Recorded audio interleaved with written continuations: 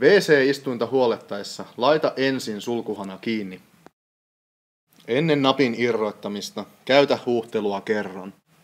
Irroita nappi varovasti ruuvimeisseliä käyttäen, jotta nappi ei vioitu. Tämän jälkeen irroita säiliökannen holkki. Tämän jälkeen voit poistaa vesisäiliön kannen.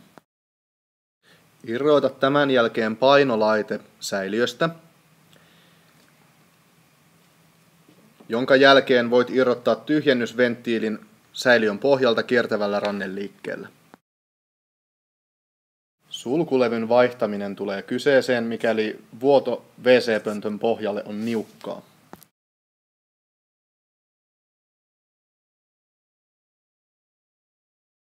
Irroita uimurin säätövarsi sekä uimurikuppi.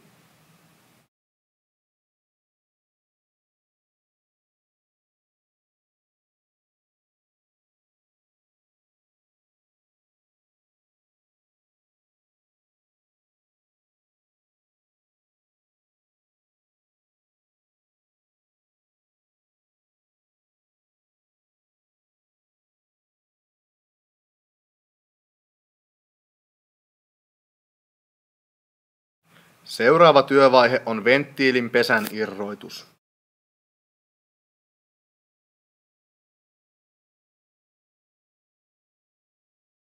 Venttiilin pesä on suljettu neljällä ruuvilla, joiden sisällä sijaitsee venttiilin kalvo. Käytä tähtipää ruuvimeisseliä ruuvien avaamiseen.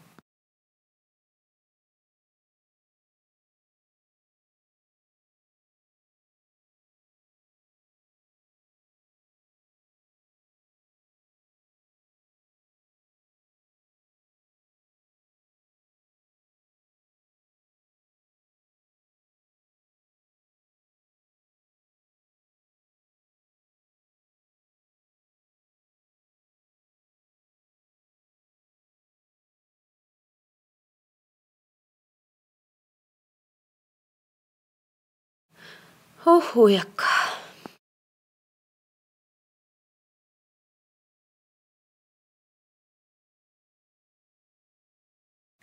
Mikäli vuoto pöntön sisälle on runsasta, on venttiilin kalvon vaihtaminen yleensä hyödyllinen toimi.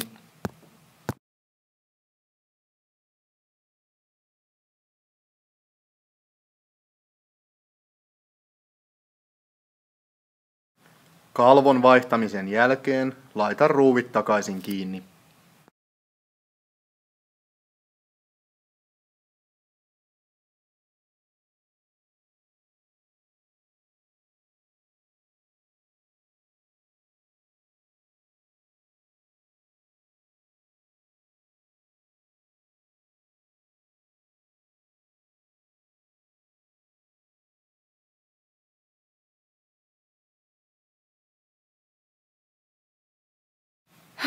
Jopahan kestää.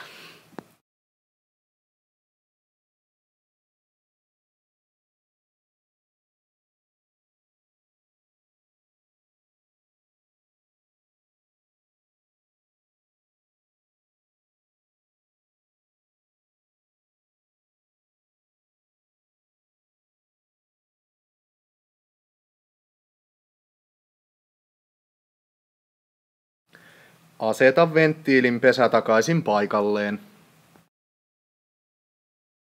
Muista oikea suunta. Se on kaiken A ja O.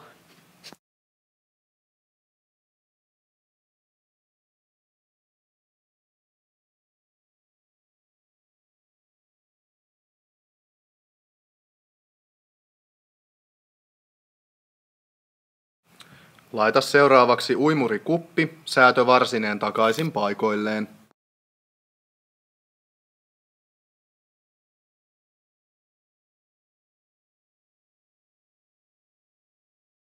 Tämän jälkeen tyhjennysventtiili sekä painolaite.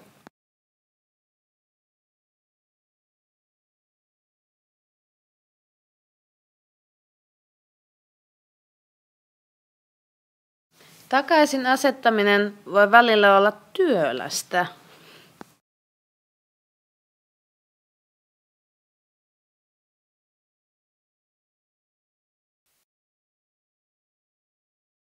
Oho, tulikohan painolaita nyt oikein päin?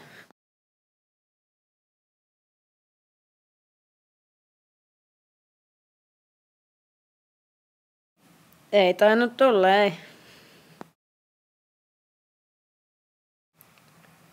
Painolaite on laitettava oikein päin, jotta säiliön kansi asettuu paikoilleen.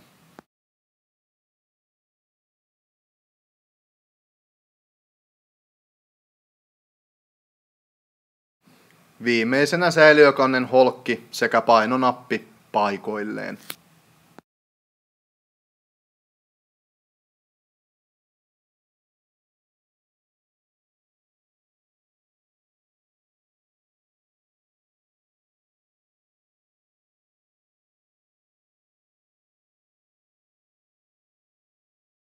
Ihan viimeisenä laita sulkuventtiili jälleen auki, jotta pönttö saa vettä ja paina kerran huuhtelunappia